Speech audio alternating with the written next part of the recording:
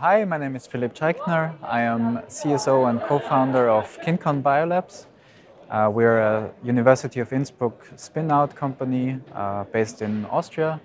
Uh, we have developed a technology that allows us to uh, screen kinase activities in uh, living cell culture models, and this allows us to uh, find and identify new drugs that are targeted for kinases.